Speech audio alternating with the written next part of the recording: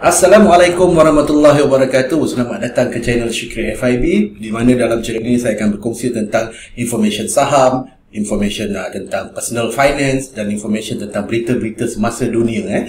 Okey, jadi pada kawan-kawan yang baru sampai ke channel ini, sila like dan subscribe pada channel ini. Alright, so uh, berita pertama kita pada kali ini, pada hari ini ialah berita tentang uh, Trump telah pun mengaku kalah okey daripada uh, daripada race uh, presidential election okey akhirnya dia mengaku kalah. So kita akan tengok detail dia.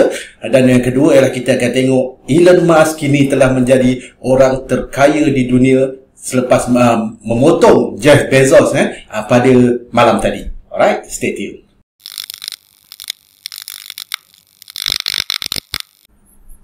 Okey, uh, semalam saya telah pun melaporkan tentang uh, rusuhan yang berlaku di Capitol Hill. So, tuan-tuan yang belum tengok video itu boleh tengok video uh, yang saya sediakan link di atas.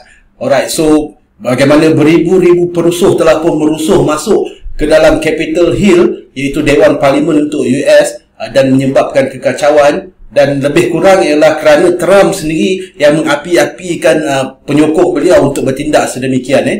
Kemudian uh, disebabkan begitu banyak tekanan daripada uh, politician di US dan juga negara-negara luar maka Trump hari ini nampaknya telah pun uh, membuat uh, mengangkat bendera putih mengaku kalah eh. Alright uh, so kita akan dengarkan uh, video ini dan kita akan uh, ulas apakah yang berlaku. All Americans, I am outraged by the violence lawlessness, and mayhem. I immediately deployed the National Guard and federal law enforcement to secure the building and expel the intruders. America is and must always be a nation of law and order. The demonstrators who infiltrated the Capitol have defiled the seat of American democracy. To those who engage in the acts of violence and destruction, you do not represent our country and to those who broke the law, you will pay. We have just been through an intense election, and emotions are high. But now temper.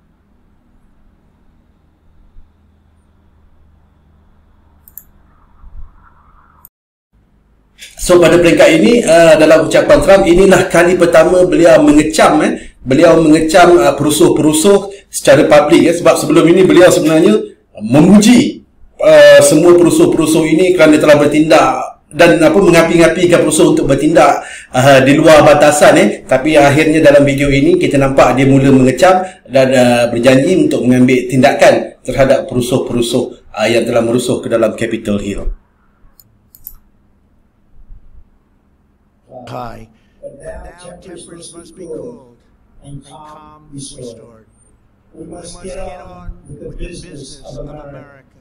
My campaign vigorously pursued every legal avenue to contest the election results. My only goal was to ensure the integrity of the vote. In so doing, I was fighting to defend American democracy. I continue to strongly believe that Okey, so Trump juga memberitahu supaya semua penyokong-penyokong dia uh, bertenang dan uh, beliau memaklumkan juga bahawa akan meneruskan uh, proses uh, untuk untuk apa nama untuk memusing sebenarnya result pilihan raya ini uh, melalui cara undang-undang lah. Which is of course uh, semua orang ada hak untuk membuat uh, uh, apa-apa bantahan melalui undang-undang eh. Walaupun kita tahu sebelum ini uh, 50 uh, lebih daripada kes yang cuba dibawa oleh peguam-peguam Trump terhadap uh, mahkamah-mahkamah negeri di Amerika Syarikat semuanya telah ditolak eh. basically ruang untuk dia berbuat demikian telah ditutup tapi mungkin ini sekadar orang kata cakap mulut sahaja eh.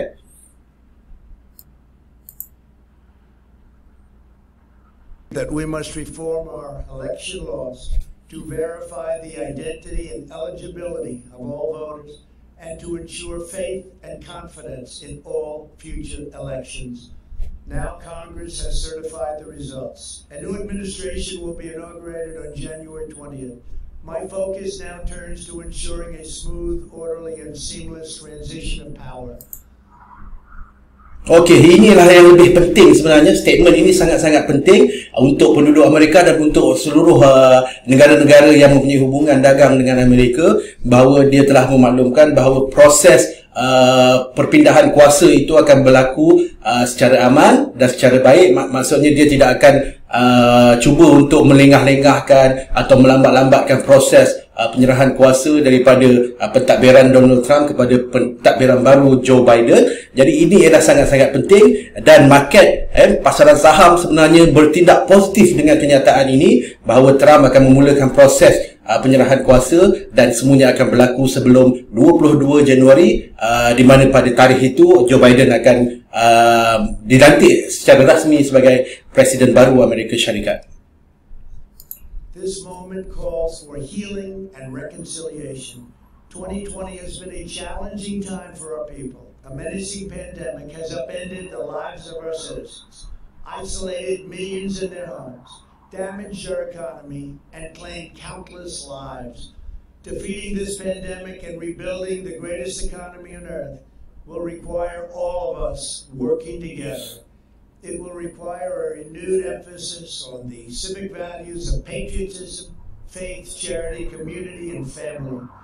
We must revitalize the sacred bonds of love and loyalty that bind us together as one national family.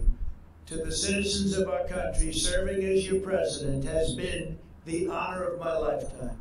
And to all of my wonderful supporters, I know you are disappointed, but I also want you to know that our incredible journey is only just beginning.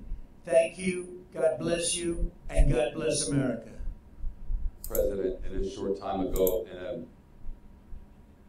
Okey, so itulah kenyataan Trump bahawa uh, beliau sebenarnya telah pun uh, mengangkat bendera putih mengaku kalah dan uh, proses perpindahan kuasa akan berlaku secara aman. Dan again saya maklumkan bahawa ini adalah statement yang sangat penting untuk mententeramkan keadaan dan mententeramkan ketegangan yang berlaku di Amerika. Alright, uh, dan seterusnya pasaran bertindak sangat-sangat positif dengan uh, berita ini di mana kita dapati uh, all major indexes eh uh, seperti uh, S&P 500, uh, Dow Jones, uh, Nasdaq semua telah membuat uh, apa nama higher high yang baru eh. So this is a very good news kepada semua uh, pelabur-pelabur saham global, saham US uh, especially nya eh.